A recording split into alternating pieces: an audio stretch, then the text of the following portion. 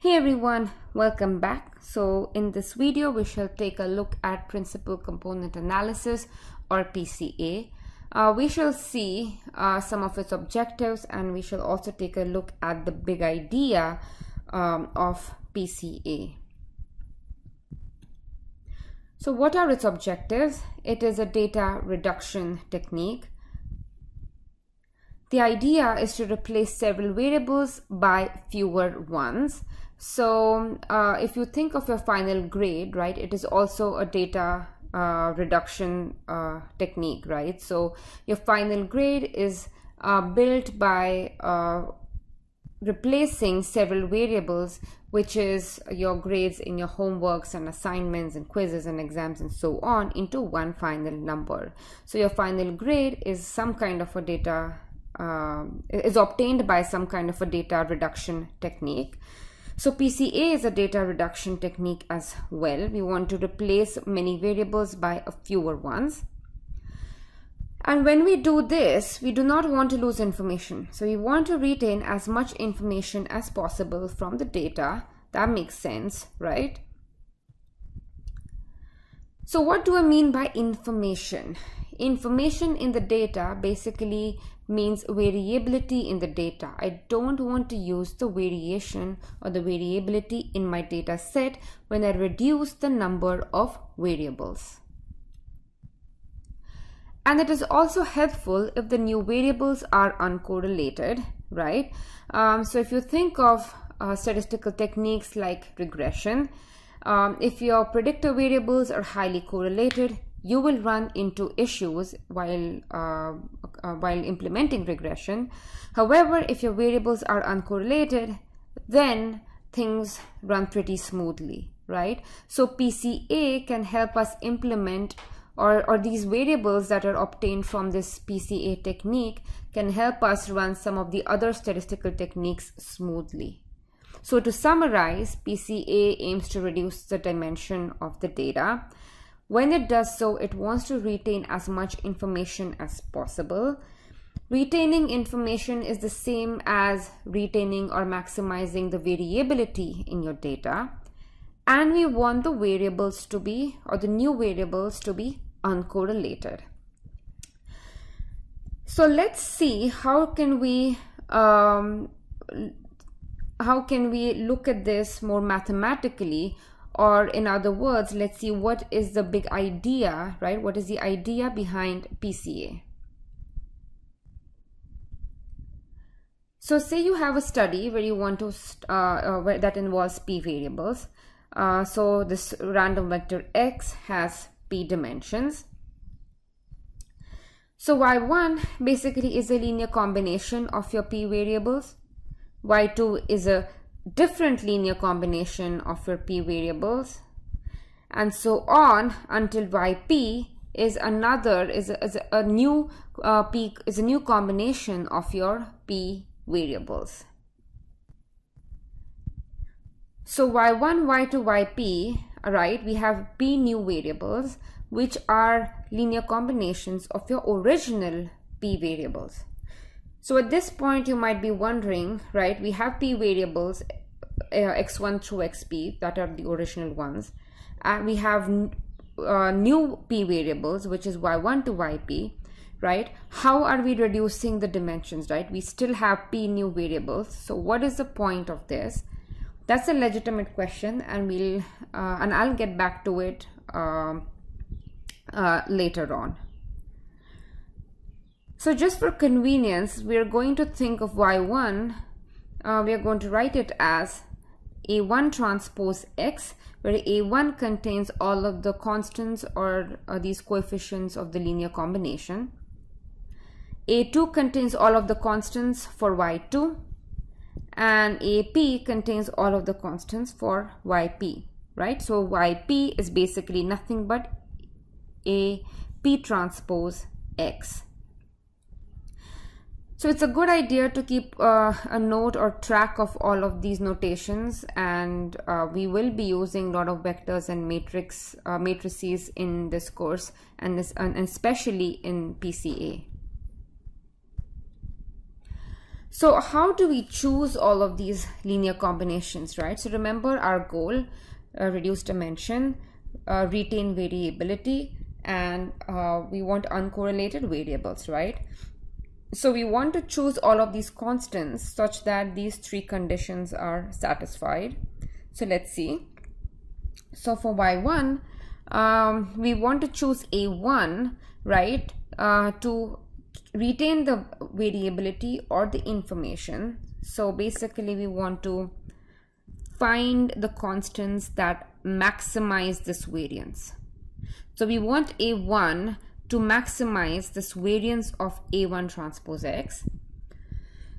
Think about a random variable for a second, any random variable, um, say, right? And if you multiply that random variable by 10, right? So variability of, um, say your variable is W. So variance of 10 times W is greater than variance of W. Variance of 100 times W is greater than variance of W. Variance of million times W is greater than variance of 100 times W. So what I'm trying to say is I can or we can keep on increasing variance by taking larger values for A, but we don't want to do that. That is not very informative. So we're going to put this additional constraint. We want to choose these constants such that this A1 transpose A1 or norm of the vector A1 is 1, right?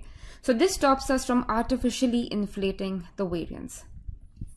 So Y1 is such that uh, variance is maximized and it satisfies this condition and y1 is the first principal component. Y2 again? We choose a2 right? We choose this vector a2 such that the linear combination has maximum variance subject to this condition that norm of a2 is 1 and additional condition now that a2 uh, or sorry, uh, additional condition that uh, a1x and a2x, this should be transpose here, right? a1 transpose x and a2 transpose x is equal to 0. That is y1 and y2 are uncorrelated. In gen oh, and y2 is the second principal component. So in general, for uh, yi, right, we choose this vector ai to maximize the uh, variance of this linear combination subject to this condition that the norm of vector ai is 1 and yi is uncorrelated with all of the previous principal components right so covariance of a1 transpose x and ai transpose x is 0 for i going from 1 to i minus 1. So yi is uncorrelated with all of the previous principal components and yi is the ith principal component. So you can see that we're constructing these new variables which are basically the principal components uh, such that they maximize the variance in some sense and they're uncorrelated with each other. So two of the three objectives, right, that I mentioned are satisfied here. Okay, so how do we get the dimension reduction, right? We still have those P principal components, right?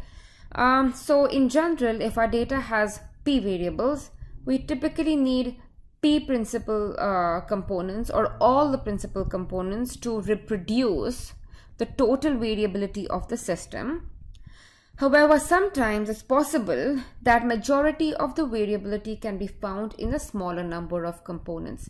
So suppose you have 20 variables, right? And you do the you calculate the principal components and it turns out that the first three principal components amount for 99% of variability. So in this case, Instead of looking at all the 20 variables, you will consider only the first three principal components. So this is what is meant by data reduction. Remember, the first three principal components are all linear combinations of all of your 20 variables. So all of this will make much more sense when we actually um, uh, work with actual problems. So if you think of a large rectangular plate, right, a plate is typically a three-dimensional object, so it has three dimensions. Uh, however, for all practical purposes, you can think of uh, uh, think of the plate as a two-dimensional object, right? There's not nothing much lost if you think of it as a flat, uh, uh as a completely flat object.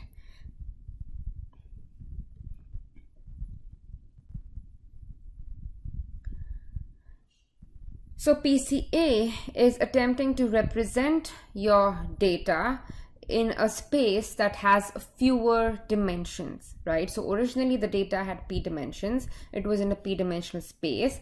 And when, and maybe the first three principal components account for, I don't know, 99 or maybe 95% of variation. Uh, so the um, so the new space, uh, right? So if we so we just take the first three principal components. Uh, so the new space that we're considering has just three dimensions.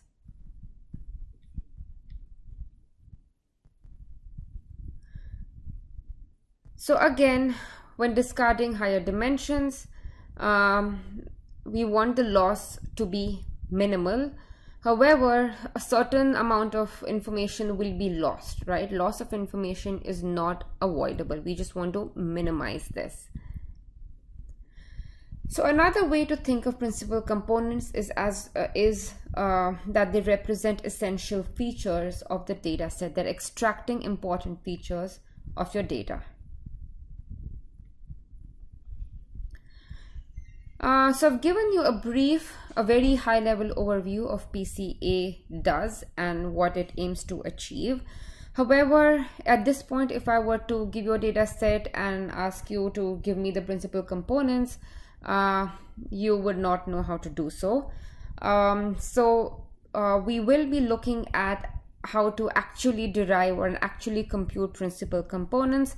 But before that there is a bit of um, a bit of review of matrix algebra is required. So we'll be doing that in the next video. That's all for this video. I'll talk to you in the next one. Bye